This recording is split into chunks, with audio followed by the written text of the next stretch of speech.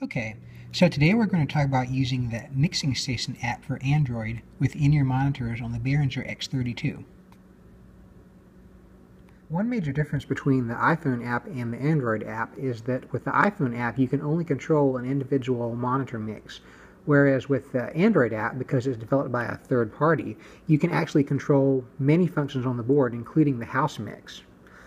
So for our purposes today, we just want to show you how to use the um, the the mix buses that you that will allow you to adjust your individual in-ear mixes. We don't we actually don't want you to adjust the house mix during during a live set. That that could be be bad.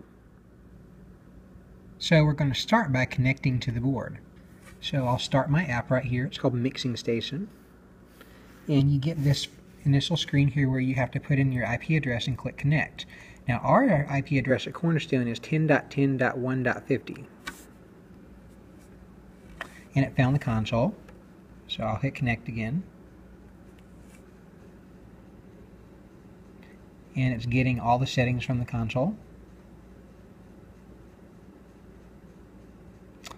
Okay, now first let me demonstrate how to adjust the overall volume for your um, individual mix bus. So right over here on the on the right hand side of the screen we're going to scroll down and we're going to select bus 1 through 8.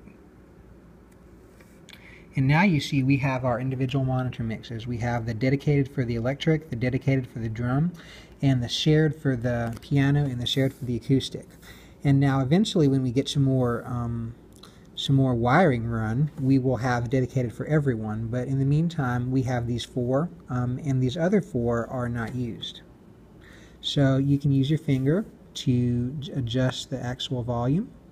This is your overall mix. This makes everything louder in your in your in-ear or everything quieter in your in-ear. But suppose you don't want to adjust everything. Suppose you just want to adjust one instrument in your mix. Suppose you want more more drums or less piano or something like that.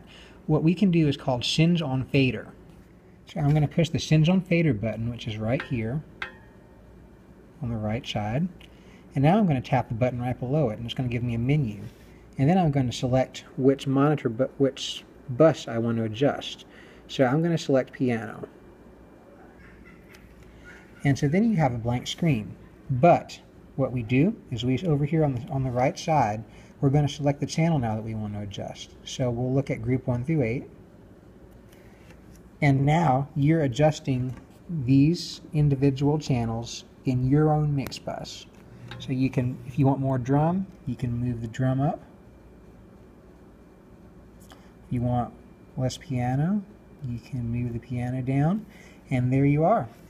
And to get back, if you notice the Sends on Fader button is flashing, we can tap it again to turn off Sends on Fader. And what you're looking at now is the actual mix in the house. Now, we don't want you to adjust that. You should please make sure that you don't actually adjust the mix in the house because that, that could have some some unusual consequences. And if you want to get back to your overall, you'll just slide the, the slider right here and select mix bus 1 through 8. Or you could have 9 through 16 as well, but we're using 1 through 8. And you can adjust your overall. And there you are. It's pretty simple. All right. Thanks.